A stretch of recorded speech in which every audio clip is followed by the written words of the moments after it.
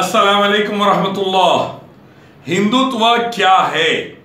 ये जानने की बहुत सालों से हम सब की कोशिश थी। हिंदुत्व के ऊपर मैंने किताबें देखने की कोशिश की, उसको आइडियोलॉजी को जानने की कोशिश की आरएसएस बीजेपी वालों के इंटरव्यूज़ को देखा और सुना और पढ़ा, लेकिन सही आइडिया नहीं खट रहा था।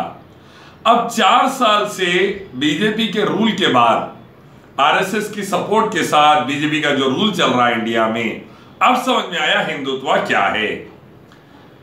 दूसरे मज़हब के लोगों की इबादत गाहों को तोड़ना, मस्जिदों को तोड़ना, चर्चेस को नुकसान पहुंचाना, ये हिंदुत्व है।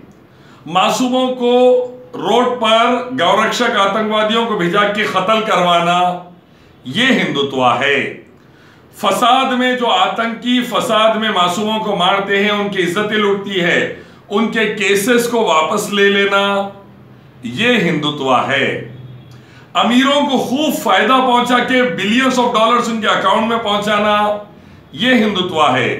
गरीबों को तीन सौ रुपए की गैस सात सौ रुपए में देना, चालीस रुपए किलो की दाल दो सौ रुपए किलो से देना, साठ रुपए का पेट्रोल अस्सी रुपए से देना यह हिंदुत्व है। किसानों को खुदकशी पे मजबूर करके मार डालना, उनको अपना गाय बैल बेचने नहीं देना, भुखमरी से मरते रहते, मरते हुए छोड़ देना, ये हिंदुत्व है। हज़ारों करोड़ लेके बिजनेसमैन बाहर भाग गए तो खामोश बैठ जाना, ये हिंदुत्व है। ये हिंदुत्व की शक्ल अब नज़र आ रही है। और ये हिंदुत्व एक दिन देश को, देशवासियों को बर्बाद कर देगा।